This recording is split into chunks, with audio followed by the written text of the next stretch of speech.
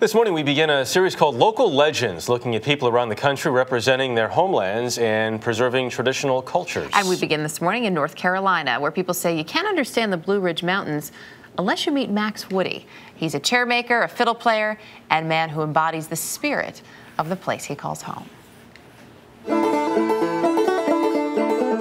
This is going to be a back leg for a rocking chair. And my name's Max Woody. My grandfather taught me the chair trade.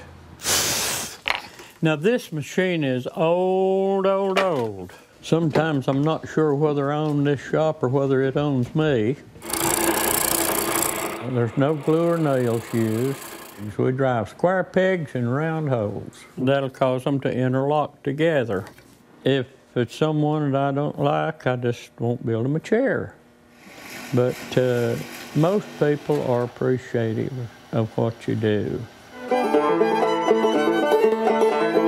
Max has certainly appreciated the culture of this place to the point that he's kept it alive. He has a gift for working with wood and for bringing people together. When you visit the Blue Ridge Mountains, particularly the Blue Ridge Parkway, you do not want to miss a Max Woody performance.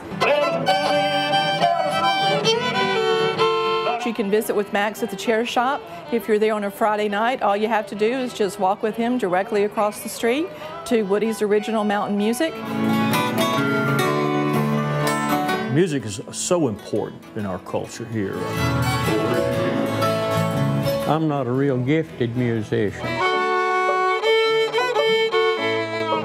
I never had anyone show me anything. I just learned it on my own there's not a lot of separation between building chairs, building instruments, and then sitting in those same chairs to play music on those instruments that you've built.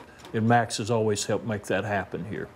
We never know in a day's time who's going to walk in. It gives us a lot of pleasure to uh, be able to add a little spark to somebody's life.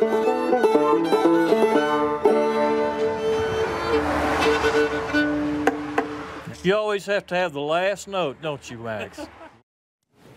Love that guy. Max told us his high school homeroom teacher called him the least likely to do anything worthwhile with his life.